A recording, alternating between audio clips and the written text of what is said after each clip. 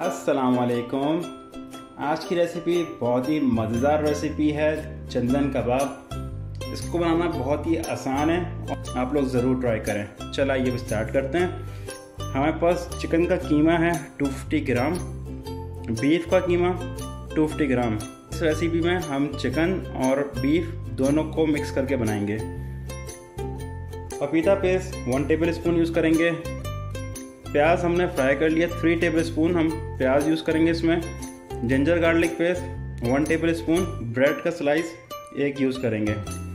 Three tablespoon बेसन use करेंगे, इसको हमने पहले से रोस्ट कर लिया हरी मिर्च पीस ली है वन टी स्पून सफ़ेद मिर्च वन टी स्पून काली मिर्च वन टी स्पून ज़ीरा पाउडर वन टी स्पून धनिया powder one teaspoon, half teaspoon लाल मिर्च, हाफ़ टी स्पून गरम मसाला, हाफ़ टी स्पून इलायची पाउडर नमक, हसबे जायका। चॉपर में आप चिकन का कीमा, बीफ का कीमा इसमें ऐड कर देंगे। Ginger garlic paste. और ये तली हुई प्याज इसमें ऐड कर देंगे। पपीते का पेस्ट। ब्रेड इसमें ऐड कर देंगे ब्रेड को आप इस तरह कट करके इसमें ब्रेड ऐड करेंगे। बेसन। और सारे मसाले हम इसमें ऐड कर देंगे।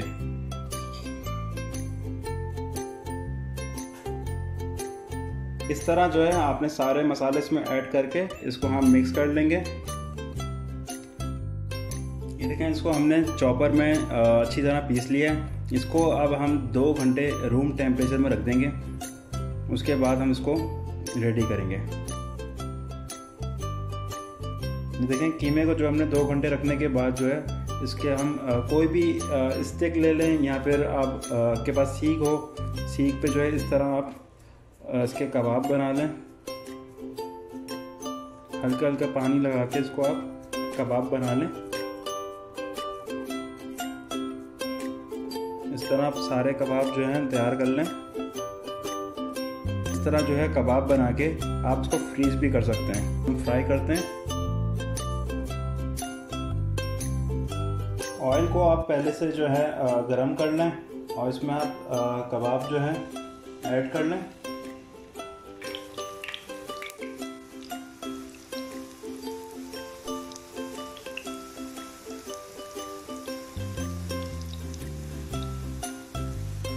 कबाब फ्राई हो चुके हैं। अब इसको हम कोयले का धुआँ देंगे।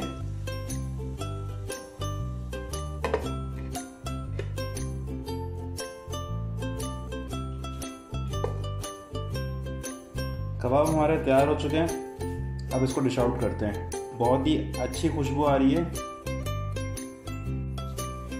डिश आउट कर दिए। बहुत ही मज़ेदार कबाब बने। ये देखें, बहुत ही सॉफ्ट हैं। आप लोग ज़रूर ट्राई करें। पसंद आए लाइक करें कमेंट्स करें और मेरे चैनल को सब्सक्राइब करें। थैंक यू सो मच अस्सलाम वालेकुम